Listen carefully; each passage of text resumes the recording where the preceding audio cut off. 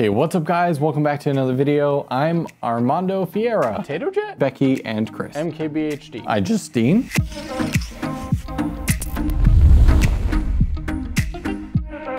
Alrighty, so first off, we are going to get started with trying to replicate the good old potato jet set here. Actually, we just got set up today, finally, the seamless paper. Yay, thank you, Christian, for getting this me for my birthday. It's very nice. We're just going to utilize this table. Normally he's standing and he has more of a taller table, so we're cheating a little bit here because again, we don't have all the same props and whatever that all these uh, creators have. So it's more about the lighting and the camera angles and that sort of thing. First step is we're gonna get rid of this boring white wall and get some pop color here, which is a little new for this channel.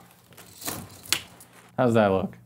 Good, are we done? All right, so let's take a peek it's going to pop up on screen for you, but for me, I'm going to reference uh, the video here from him. And one of the big characteristics that I like this set um, is because you can see a lot of the behind the scenes, right? You can see some of the lights. Our camera here, which for today's video, we're gonna be shooting everything on the Blackmagic Pocket 6K. So obviously everybody uses a slightly different camera.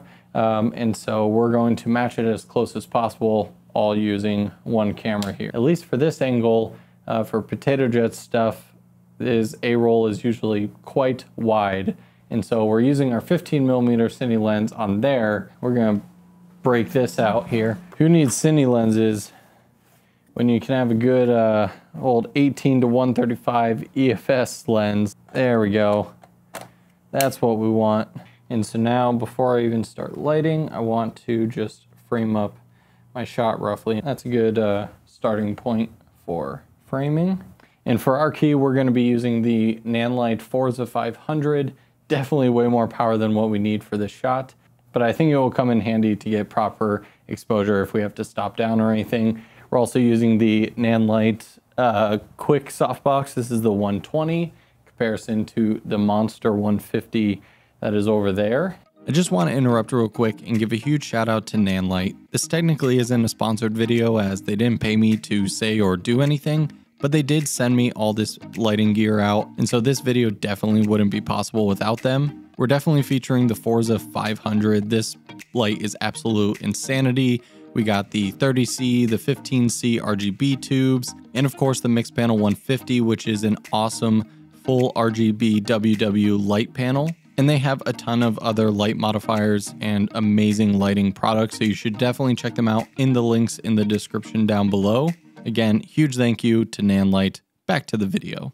And currently we're at 3%. I'm gonna bring it up to like 10 just to see where we're at. We definitely got more light going here. Everything is relatively in focus and this is my guess because he is moving around so much that uh, you just want the ability to kind of move around with product front and back, break kind of the focus plane without being, you know, half your video being out of focus or anything. He usually has a light that's both in frame and illuminating, kind of helping create a nice little vignette in the back.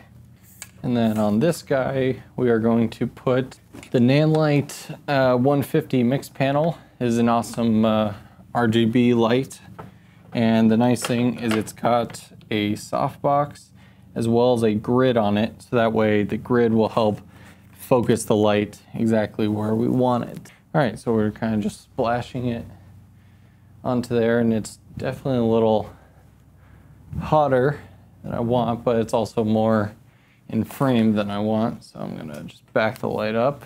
And then on the left-hand side, he usually has some sort of like really harsh kind of practical light essentially again shooting onto here. We're just going to use a little light that I will grab. We're going to use the Cute uh, Forza 60B and we'll just keep it pretty simple here and throw on the reflector. I'm actually going to keep it kind of warmer. I'm going to bring the intensity down. Something that goes against my instinct definitely is the like lack of symmetry when it comes to lights and everything. But that's the fun part of this challenge, trying something new and uh, seeing how other creators are doing it. And he uses barn doors to kind of shape the light. I just want to see how this looks if I add a little stretchy diffuser thing.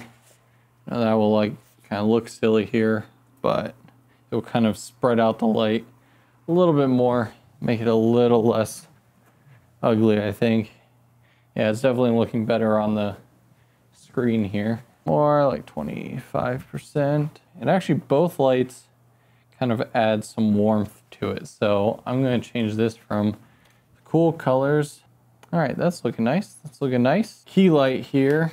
I think this can be raised a little bit and angled down so we're getting less of a splash on the backdrop. All right, so we adjusted the key a little bit and now everything is coming together pretty well. So the last thing, see, has a microphone. A lot of uh, creators use uh, like booms and keep things out of frame. Not him. And his mounting point, I believe, is usually out of frame, but we're working with a small table here. It goes kind of over like this. All right, and yeah, our levels are looking okay. I'm looking a little pasty with the cool tones here, but we'll fix that in color correction. And yeah, this boom arm looks kind of weird. Now, the only thing that's looking off to me is I seem pretty far away from uh, the camera. So I'm actually going to, ugh, more distance. Now I'm gonna have to move my key back a bit. Alrighty, yeah, this this looks pretty decent. It's pretty close. Again, I want to reiterate that I didn't do any research into how people shoot stuff. So uh, I'm very curious if any of you creators see this. So Potato Jet, if you're watching or any of the other creators, leave a comment down below. It would be awesome to see how accurate I was um, and what you did differently. So yeah, let me know what you guys think about this setup and hopefully you were able to learn a thing or two and let's move on to the next one, shall we? All right, so now that we're done with Potato Jet, we're gonna go from vibrant and orange and white to something a little bit more closer to my style, which is black and grungy and awesome. This is none other than the Becki and Chris setup. Becki and Chris is usually a lot of more single source, uh, what it looks like type lighting setups. They like to keep the backgrounds very dark and all about the matte black everything and them kind of directly lit. All right, so first thing we're gonna do is just like last time, we're gonna frame up our shot before we move any lights. And one thing I wanna do is again, create separation. So I'm gonna move this a couple feet off the wall, get some separation. I'm gonna kill all these lights here by Potato Jet setup. And again, this will be a pretty basic setup just because I don't have nearly as cool props. And already this is looking pretty good, but I think we can improve upon a couple things here. And one of that is if you're going for especially dark stuff, you're gonna get a lot of light spill. So you want to kill all other lights in the room. So definitely the big one, as well as there's a couple ceiling lights, wrong one, uh, just to remove any sort of bleed from there. If we look at the reference footage, they are pretty well lit on uh, both sides of their face. So you can see in this example right now, this side is clearly darker than this, and that's because the key light is on uh, this side. So if I move it directly behind the camera and it's currently on 10%. I'm gonna take it down to like five. I'm also gonna open up the aperture on this lens. So the widest it goes is 3.6 and this is looking pretty good, pretty good. I absolutely love their uh, color palettes that they use in video. So I like this black, I like the blue of this, but we need some green. Now, I don't have any plants, real or fake. So I gotta find something that's green. One second. Does this count? Picture this as a plant. All right, so picture green there, and then some nice painting or prints up here, um, or textured background. What I absolutely love about Becki and Chris is they are obsessed with textures, whether it is wood textures or um, the kind of, I don't even know what you call them, paneled walls or anything. Oh, 70 pound pit bull. That's a lap dog, right? They also like to desaturate skin tones, so hers works wonderfully. Again, this is probably gonna look stupid because I'm sitting on a couch. The other nice thing that this single source key light does is it gives a nice gradient to the background. Now I could take one of the extra lights and shine it directly on the back. And some creators do that, but it seems as if Becki and Chris do a lot with a little when it comes to light sources. So I have a pretty big softbox kind of in front of me slash over me a little bit. Um, I believe I saw in their studio tour that they may even use a China ball um, to really kind of get a nice wrap around more of the studio. But what do you guys think? Pretty even lighting on the face and with a nice color grade, this should look uh, pretty close to what they've doing, minus the lack of props and stuff. You know, I do think there is something missing from this setup. There is too much of the same color, even though they're all about matte black. Be right back. All right, so this is not gonna fill the frame. These are just like textured patterns by company called Replica Surfaces. If you guys are listening, please bring back your 16 by 9 extra large format square.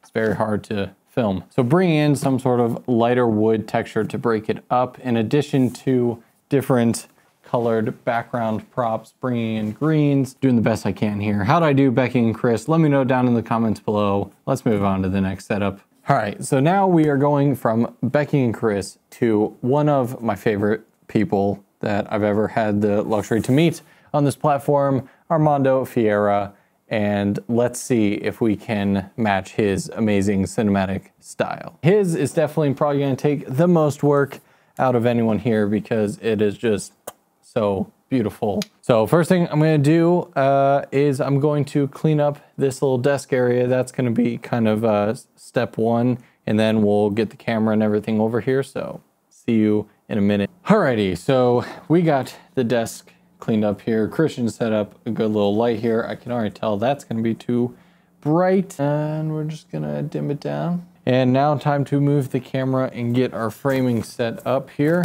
Alrighty, now I'm definitely going to throw back on my IRIX 45, the beautiful lens, because Armando has a really nice soft kind of highlight, roll off, fall off, really nice bokeh in the background, all the characteristics that this lens can accomplish that this one, uh, not so much. All right, so now we need to set up our framing and because we are at 45, the camera is definitely going to have to be back. Armando usually shoots pretty much eye level. And the reason a lot of creators talk eye level right at the camera just gives a more personable feel, like you're actually talking to someone. And I gotta be careful because got that thing right in the way. All right, and currently we are at a T1.5, probably like a two. We'll get some amount of separation in here. Anyone else have a dog that like perfectly lays down right where you need to put something? Now, if we look at the reference, we can see that his computer is kind of off center, and I'm actually kind of a fan of that. Rather than like what I have set up now where my desk is perfectly symmetrical and then I'm perfectly symmetrical, kind of depending on your desk setup and your uh, computer screen background. I don't know, I, I kind of like the, he has stuff going on on both sides. So I'm gonna move the camera slightly. So I'm definitely breaking one of the basic rules of composition, which is no harsh lines through the body. And I'm putting literally a stark contrast line straight through me but I don't have a ton of options. I will just take the table instead of pulling it in front of me. This will be kind of uh, the over here set piece. Since we don't really see light over here, light. So this is going to be the basic composition. So what I'm gonna do first, uh, since this is gonna look pretty dynamic, is I'm going to kill all the lights and we're going to slowly add it in. So you probably can't see anything. We're moving the key light. Now what we can see in the reference video is that he's got what almost looks like blinds in the background. That is actually a gobo. And so let's go set that up. I'm gonna turn on house lights and now we're gonna go get a gobo. All right, so the gobo actually attaches to the Nanlite 60B. It basically is just a projector mount, so it kind of uh, strengthens the amount of light they put in it, but it also has a slot that you can put different shapes in. So I have these little, what looks like mini blinds, and when you shine light through it, it projects it um, to make it look larger. And we'll see what we get when we turn this guy on. And we start to uncover the light.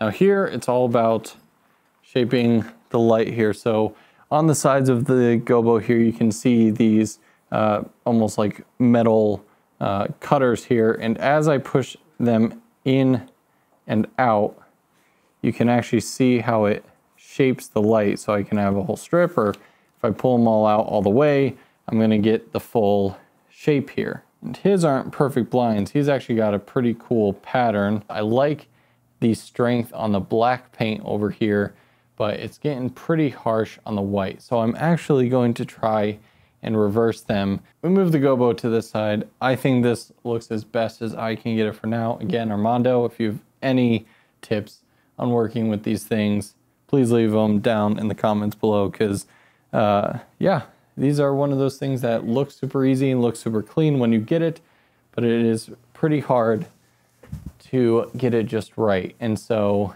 yeah, that looks as good as I can get it for now.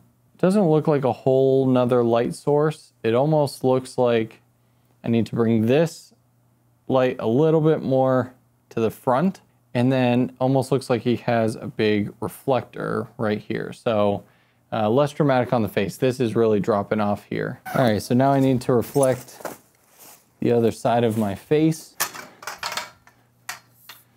The nice, uh, I think it's like six by four or something.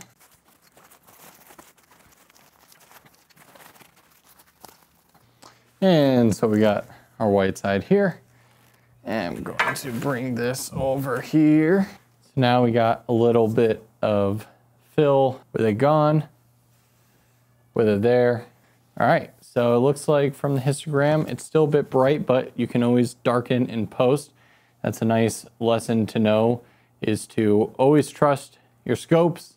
And so I'm trusting mine right now, even though it looks brighter than I want the final image to be. So if we add in a color grade, hopefully what you're seeing right now looks pretty close. Uh, if we compare to Armando's video here, how'd we do? This definitely probably was the most complex setup of the bunch here. So next up, we're gonna turn up the brightness quite a bit and go to kind of the king of crispy, MKBHD. So in order to get proper MKBHD style, his studio has a ton of windows, a ton of overhead lights the whole way through. And so when he uses his key light, which I believe is a pretty much a softbox if we look at the reference video here. Oh, by the way, the camera's now locked off because Christian, uh, his back is killing him. Uh, and also our battery died. And so now we're hardwired in, so stationary. So the first thing we're gonna do here is take the key light that we were using for Armando's setup and then actually take off the softbox. Take this Nanlite Forza 500 all 500 watts of power and just bounce it off the ceiling. So that's 1%. Let's make our way to 100. Eh, am I still exposed? Uh, we may need to soften it up a little bit here, but for now we'll just keep it pretty much blasting. For this camera angle, we are going to have to go back to the crappy lens because he shoots very wide and very close because just like most creators, he wants to be personable with the audience. All right, so first things first, like everything else, let's get our framing. Didn't lock it down all the way and used to heavier lens. Let's make this lighting a little bit better. I'm actually going to put the softbox back on because the light is very harsh. I'm still going to use it as a fill. All right, so now let's crank this guy back up. Looking better in the background here. It's nice and bright, but it's not clipping. It's well exposed. So for the key, we're gonna use our other Forza 500, this time with a completely outrageous uh, softbox. This is the 150 by Nanlite. And we'll start off with like 15% and we'll see what that is doing. That is doing some lovely things. If we take a look at our scopes, you can see that we are very healthy in kind of the mid-range. We have a little bit of contrast right here. Let me double check. Obviously, Marques and I have different skin tones. I believe he does have a little bit of dynamic touch. Yes, he does use a little bit flatter. So I'm going to bring that bounce back. This is kind of how you achieve the uh, very nice bright but not overexposed. We're not clipping anything, still well exposed MKBHD look. What do you guys think? Again, let me know down in the comments below. And let's move on to our final uh, creator setup here. One of the most amazing OGs of YouTube, iJustine. All right, so for iJustine setup, we're going to keep with the brighter look, but the set that I kind of chose to go is a little bit different where it's a much warmer set. Um, so that would be fun to play around with some warmer colors while keeping cooler skin tones, but uh, very kind of bright and beautiful and add a little bit of pink flare in just for her. So we're gonna keep with the same key light because this is a lot closer to my traditional setup. Um, and this light is very hard to move with that giant softbox. Um, I'm going to keep with the same wide angle lens here. And this one, I really know that her background is very different from mine.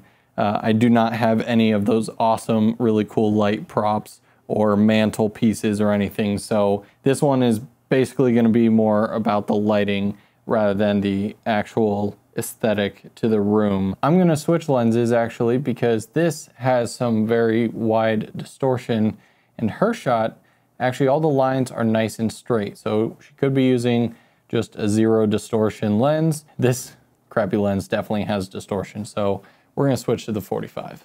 Obviously you can see the boom mic here. I know I haven't talked about that too much in this video, but uh, most of these creators, with the exception of Potato Jet in the beginning, who had the mic kind of in frame. Most people use a boom mic that's just out of frame. Uh, so I wasn't gonna waste time moving this to every setup since you wouldn't even see it in the end. And we're using audio from the lav, not any shotgun mics. All right, so first I need to clean off this stuff real quick. All right, so I'm going to bring in the reflector once more because iJustine seems to be having pretty much equal lighting on both sides. So now this is a pretty good basic uh, setup. Again, it's bright. What I can see from the histogram is everything's decently in the middle. It's a little bit more darker on this side, but I can't really move this light fully center. So what I'm going to do now is get some warmness going on the wall.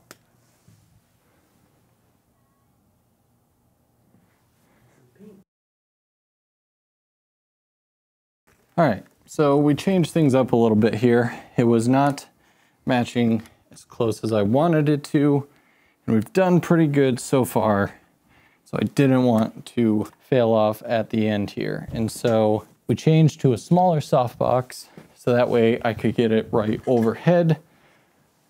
And so now we can have the background isn't getting uh, as much spill and so it can kind of keep to that nice warm touch and then what I'm about to add in here is uh, a hair light, because I can tell in the reference footage that she has a hair light on her.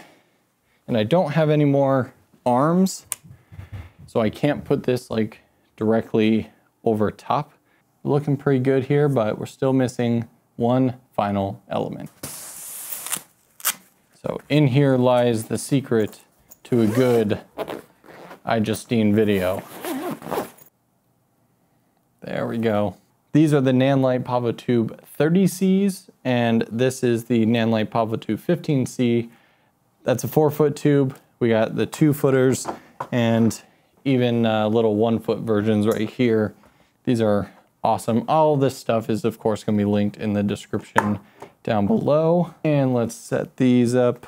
All right, I've been staring into lights all day, so it's a little hard to tell. It seems as if we have completed our tasks so this one definitely was a lot harder. I'm not used to warm and cool mixed color temperatures, so this was quite the challenge to finish off at. Kudos to you, iJustine, for the beautiful set. Uh, let me know what you guys think about all of these setups down below. Whew. Okay, quick note about that iJustine setup. I realized that the pink RGB tubes were a little overpowering uh, to the warm lights. Realized it too late while I was editing. And so yeah, little mistake there. But overall, what do you think about all the different setups?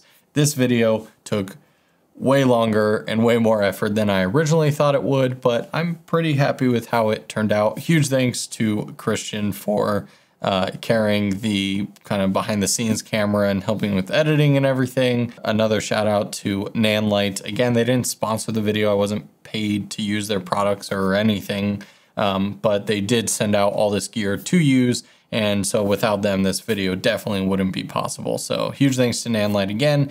And of course, Thank you to all of you for watching this video. Honestly, if you enjoyed this video at all, more than ever, I would appreciate a thumbs up. And if you like this video, leave a comment down below on some other creators I should try out and get subscribed so you don't miss those upcoming videos. As always, thanks so much for watching and I'll see you in the next one.